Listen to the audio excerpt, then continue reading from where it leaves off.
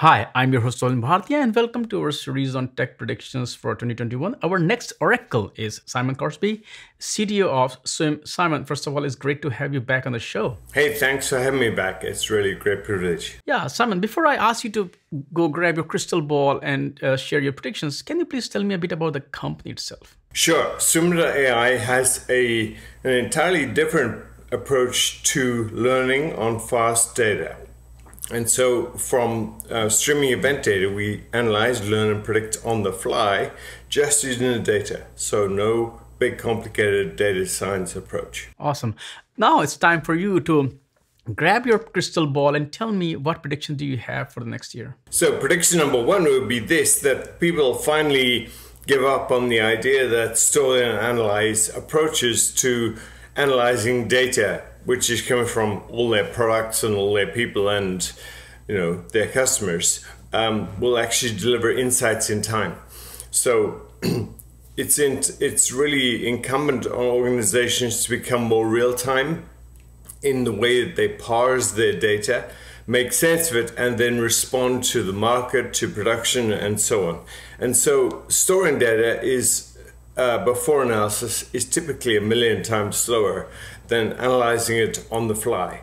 And so I see a stronger thrust towards event driven architectures.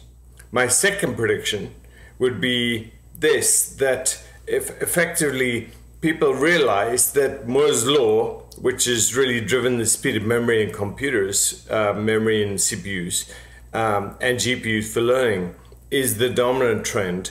And this architecture, which has driven us through the cloud era initially um, is running out of steam. So if we keep data in memory to learn and analyze and predict on the fly, instead of sticking it on disks beforehand, we can literally go a million times faster.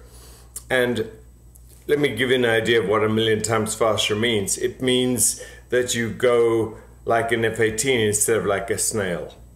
And that is about a million times in speed.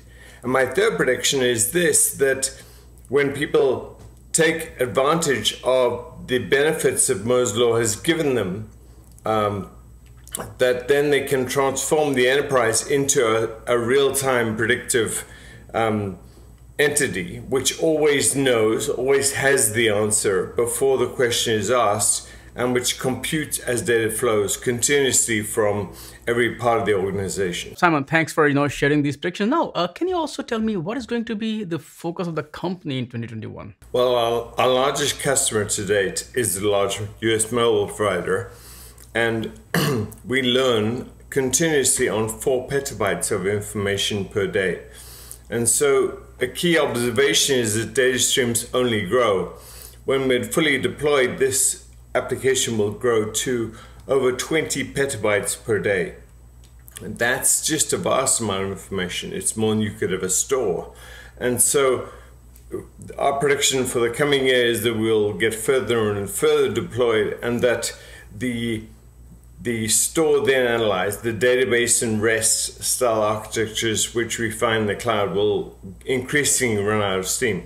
Our current approach is to serve our customers who are running actually uh, mostly all, uh, at the edge, and some of the analysis is happening in the cloud. Simon, thanks for sharing these predictions with us. Uh, I would love to have you back on the show in 2021 just to see how many of these predictions turn out to be true and also get your predictions for the next year. So, once again, thank you.